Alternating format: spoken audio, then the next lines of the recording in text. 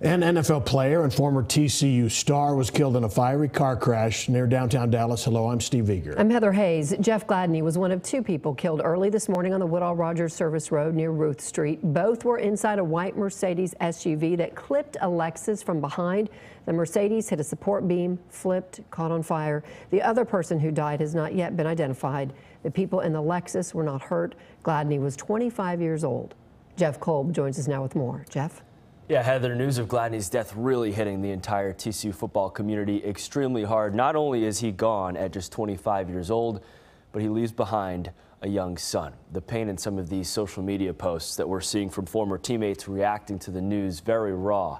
A Jalen Reagor, a former TCU teammate and current Philadelphia Eagles wide receiver, with these posts, quote, lost my brother, my best friend, my right-hand man.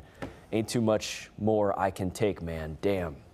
Brother, watch over me, please. Reagor adding in another tweet, I was just getting my mind back right.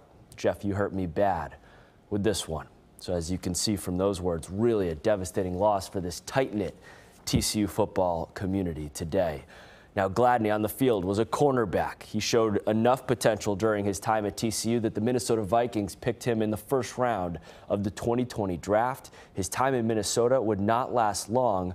Gladney was charged with felony assault, later cut by the Vikings. But after missing the entire 2021 season, he was found not guilty. Shortly after that, Gladney signed a contract with the Arizona Cardinals. In a statement released to Fox 4 today, TCU Athletic Director Jeremiah Donati had this to say of Gladney's love for the Horned Frogs program. Quote, he loved everything about his alma mater. He was a frequent visitor on campus and was at our spring practices and spring game this year, proudly joined by his young son. Now, we are gathering some more reaction to Gladney's death from his high school teammates out at New Boston High School. That's in East Texas. David Sentendrey will have that coming up on Fox 4 News at 9. I'm Jeff Kolb, Fox 4 Sports.